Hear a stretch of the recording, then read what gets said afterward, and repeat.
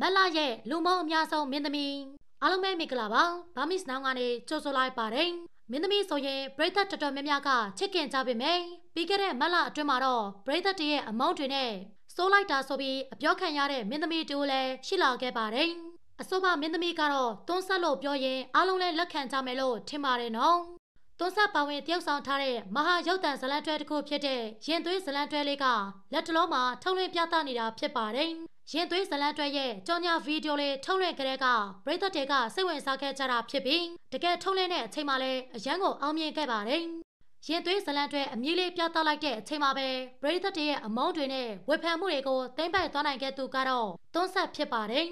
ဇလန်တွဲတစ်ခုလုံးမပြသရသေးခင်မှာတော့တွန်းဆက်ရဲ့တရုပ်ဆောင်မှုတွေကအားလုံးရဲ့အမြင်ကပ်စရာဖြစ်သွားစေခဲ့တာကြောင့်ပါ ရင်သွေးဇလန်တွဲထဲမှာတွန်းဆက်ကတကားလုံးကိုပတ်မွေပြီးအနာယူတဲ့တအိမ်လုံးချင်ဘက်အစိုးလေးဖြစ်ပြပြင်းစွာတရုပ်ဆောင်ထားခဲ့တာပါရိုက်ကွင်းပေါ်မှာဆိုရင်လဲတွန်းဆက်ရဲ့ဇယိုက်စိုးတချို့ကိုမြင်ရလို့တွဲဖက်ရိုက်ကူးခဲ့တဲ့သူတွေကပါမုန်းစရာကောင်းတယ်လို့ထုတ်ပြောထားကြပါတယ်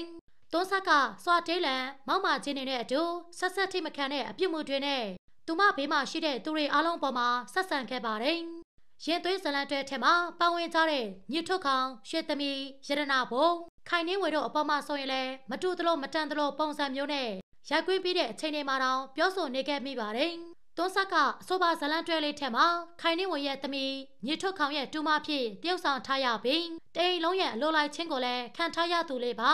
ဦးလေးဖြစ်သူအပေါ်မှာလည်းအရန်ကိုမောက်မချင်းတွေနဲ့ဆက်ဆံပြီးအော်ကာပြောဆိုခဲ့တဲ့ပုံတွေလက်ပါတဲ့အကွက်တည်းကြောင့် မြေသူတကာကတွန်းဆက်ကိုမုန်းကျင်စိတ်တွေတဖွာဖွာဖြစ်စေခဲ့ပါတယ်။ကြမ်းမပြည့်တဲ့ဦးလေးနဲ့ရွှေသမီးအပေါ်ရိုသေစိတ်မရှိတဲ့အပြင်အော်ဟစ်တောင်းကျလုံးပြီးစွာတေးလန်လေးအဖြစ်အရန်ကိုပြပြခဲ့တာတွေကြောင့်ပဲတွန်းဆက်ကပြိသက်အများပြားရဲ့အမုန်းကိုလက်ခံရရှိခဲ့ပါတယ်။အပိုင်းတစ်ပိုင်းပြီးပြီဆိုတာနဲ့ comment တွေမှာဆိုရင်တော့တွန်းဆက်ကိုအပြည့်ပြည့်ဝေဖန်ပြီးမုံလိုက်တာဆိုတဲ့စကားလုံးတွေနဲ့ပြောဆိုခံနေရတာပါ